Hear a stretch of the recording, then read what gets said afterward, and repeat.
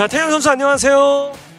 안녕하세요. 자, 오늘 경기로 이제 플레이오프 진출을 확정, 자력으로 확정을 지었습니다. 지금 소감이 어떠신지요? 어, 오늘 이겨야지 플레이오프 무조건 가는 거라.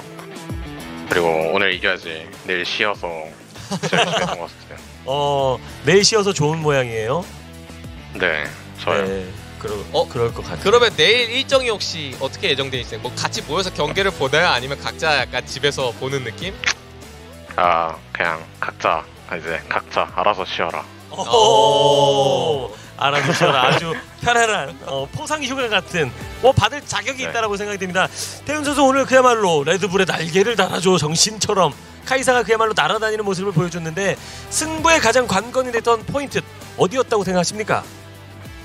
음, 헤카림 카이사가 헤카림이 먼저 박으면은 카이사가 같이 날아갈 수 있는데 거기에 카르마 이속까지 해서 그냥 뚜벅이인 오리아나 잡는 게 제일 게임에서 중요했던 것 같아요. 어, 오리아나를 끊어내고 견제했던 것이 아주 주요하게 작용을 했다. 네. 저는 조금 궁금한 네. 게 있는데 최근에 3미라가 다시 나오기 시작을 했잖아요. 저는 태윤 선수가 생각하는 3미라의 위치라던가 그런 게 조금 궁금합니다.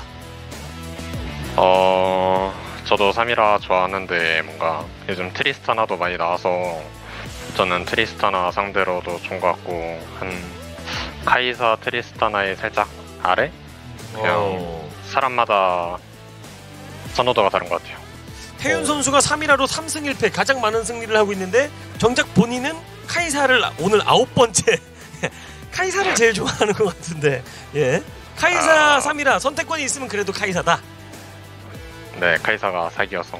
아직까지는 어. 그렇다 그러면 예. 카이사 오늘 플레이가 진짜 인상 깊었어요. 매 한타마다 적진으로 먼저 막 들어가게 되고 밀고 들어가는 플레이가 굉장히 일품이었는데 네.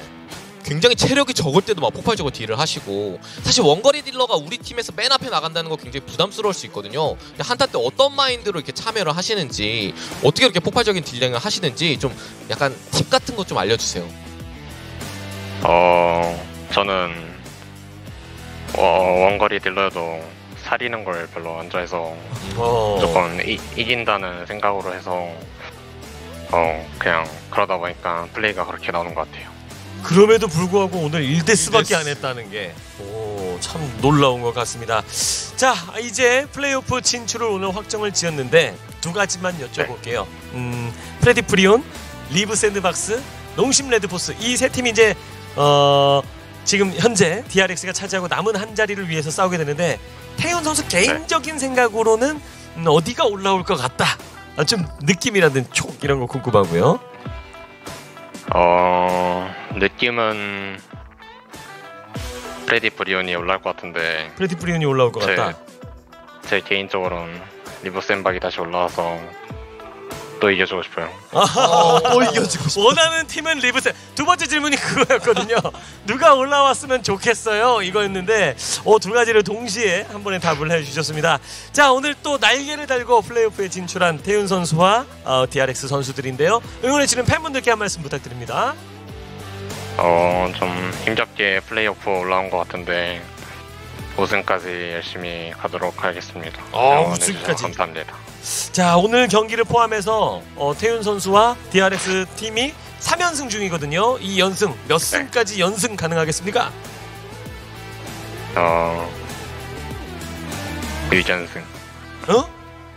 유견승. 6연승. 6연승까지는 이어가 보겠다. 자 그렇다면 뭐 이제 좀 많이 어, 진출을 네. 할수 있을 것 같습니다.